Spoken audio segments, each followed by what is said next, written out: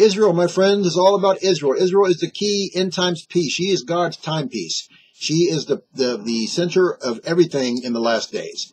Look at Israel, what's going on now in Israel and with her neighbors, all the Psalm 83 war imminent, the Isaiah 17 prophecy imminent, the Gog Magog war imminent, the, the third temple imminent, everything imminent, all of the ge- different generations emerging in 2017, so many things happening right now. Now, the Yemenite synagogue of Jerusalem was chased out by the Muslims in 1938. And now, 70 years later, they, they were promised at the time that they would return to Jerusalem. Now, they're coming back. And my friends, things are just happening so fast in Israel, so fast in the world, so peace deals being bandied about everywhere with Israel. And I'm telling you, all the signs of Jesus Christ's imminent return are here. They are everywhere. They're everywhere.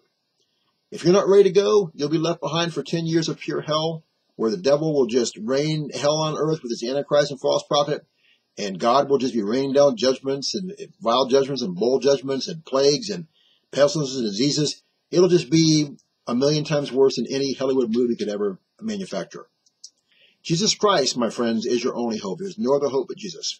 If you've never been saved or you're backslidden, pray the prayer, do the six steps I have in the box below the video because no one's guaranteed the next day, hour, minute, or second of their life. And sadly, most Christians will be left behind along with the unsaved because they're backsliders.